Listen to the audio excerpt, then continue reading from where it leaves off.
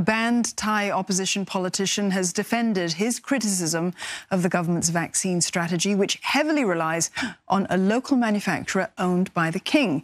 Thanathorn Juangroongruangkit has been charged with insulting the monarchy. Despite that, he's vowed to keep campaigning for reforms. Saksith Saiyasombut tells us more.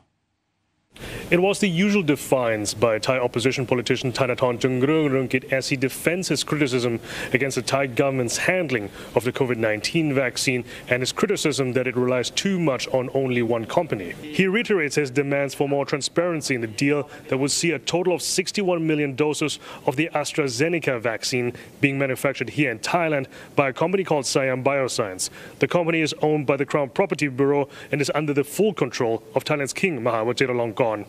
The Thai government has filed complaints for computer crimes and royal defamation against him for his criticism and allegation.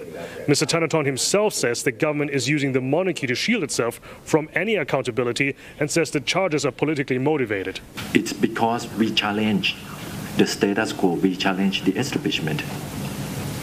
I believe that all the cases against me, not only this one, are politically motivated. Imagine this. I am 40, um, I'm 42 right? Before I'm in politics for two years. 40 years of my life, I've never been charged. I've never been prosecuted, not even one case. Not even one case. But I started politics two years. I have, I don't know, countless of cases against me. Mr. Thanathorn could become the highest profile case to be trialed for lèse majesté, the law of, of, royal defamation that punishes criticism of the royal family with up to 15 years in prison. Now, the law hasn't been used in a while, but it has been revived last fall at the height of the anti-government protests where rallies for many months in the last year have called for sweeping political reforms, including of the monarchy.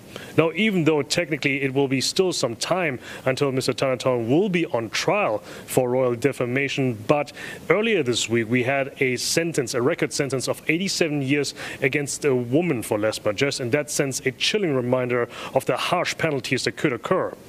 Saksith Sombat, CNA Bangkok.